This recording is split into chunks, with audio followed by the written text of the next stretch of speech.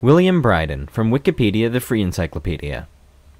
William Brydon, born 10th of October 1811 and died March 20th, 1873, was an assistant surgeon in the British Army during the First Anglo-Afghan War, and is famous for being the only European survivor of an army of 16,500 men.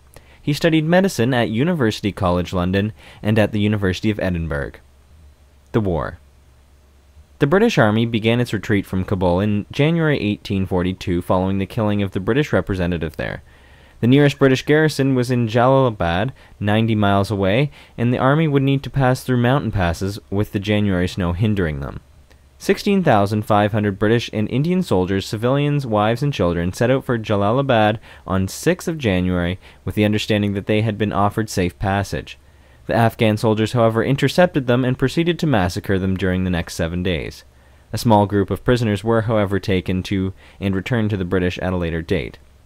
Many of the Indian soldiers and camp followers captured were enslaved and few probably found their way home again. On the 13th of January, Dr. Brydon rode alone up to the gates of Jalalabad. He became famous for being the only European survivor of the entire contingent to have escaped the Afghan guerrillas. Part of his skull had been sheared off by an Afghan sword. In fact, he only survived as he had stuffed a copy of Blackwood's magazine into his hat to fight the intense cold weather.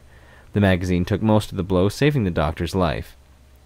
The episode was made the subject of a famous painting by the Victorian artist Lady Elizabeth Butler, who portrayed Dr. Brydon hobbling to the gates of Jalalabad fort, perched on his dying horse. The painting is titled Remnants of an Army. In 1857, he was a regimental doctor at Lucknow and survived his second siege, that of the Lucknow Residency, June to November 1857, being badly wounded in the thigh at uh, one stage. His wife published a memoir of the siege.